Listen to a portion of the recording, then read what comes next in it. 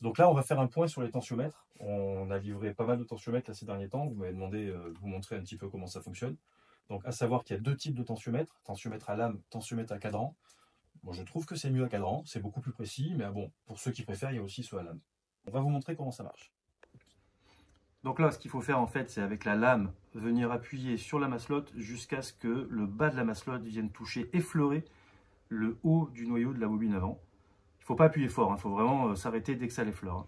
Et donc là, on lit quoi? On lit 300... On est sur un 300 grammes. 300 grammes tout rond, voilà. Dans ce sens-là, on peut, ça marche aussi. On peut le faire aussi en face.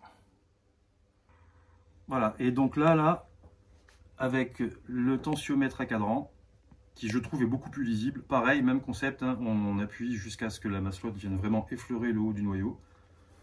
Et on peut le faire voilà, sur les deux côtés de lecture. Et je trouve que le cadran se lit beaucoup mieux.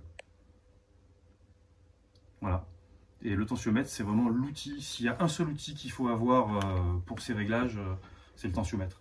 Une bonne tension va déterminer vraiment le, réglage typique d'un liner, d'un shader, d'un packer. Voilà donc les deux styles de tensiomètres, les deux types de tensiomètres qui existent, à savoir que des tensiomètres à cadran, en ce moment j'en ai de temps en temps, donc faut pas hésiter à me contacter.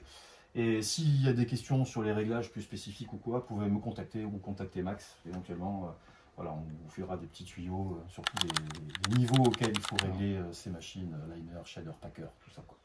Voilà, tensiomètre.